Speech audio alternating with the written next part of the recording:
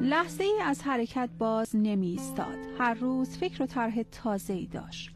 جهادگری برجسته و پژوهشگری پرتوان بود.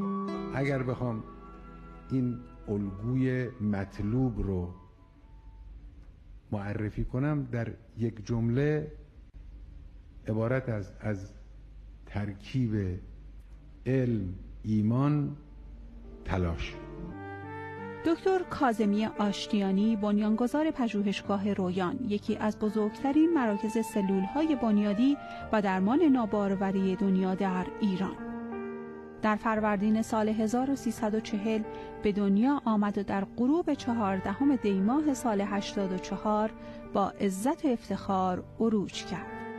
ایشون تک کلامش همیشه این بود که ما امروز مؤثریم و فردا اثر.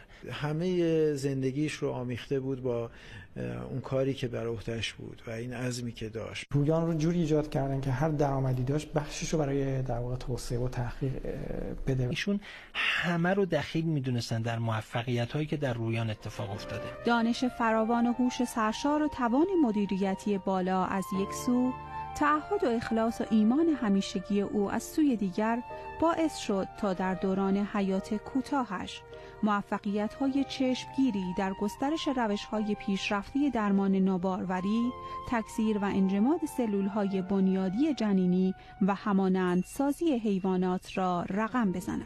ما اولین فرزند حاصل از این روش ها رو بر روش IVF در سال 71 دیدیم و در روش های میکرو انجکشن در فاصله کوتاهتری باز این موفقیت ها حاصل شد. در زمینه چشم جز از اولین مواردی بود که سوختگی های قرنیه به خوبی پاسخ گرفتیم. در زمینه قلب استفاده همزمان از سلول های بنیادی در زمینه قضروف و استخوان در دنیا هم بیشترین تحقیقات داره صورت می‌گیره. خوشبختانه ما هم به نتایج خوبی رسیدیم. خدمات رو به جلوی پژوهشگاه رویان همچنان ادامه دارد. هر روز شاهد خبری تازه از موفقیت محققان کشورمان هستیم.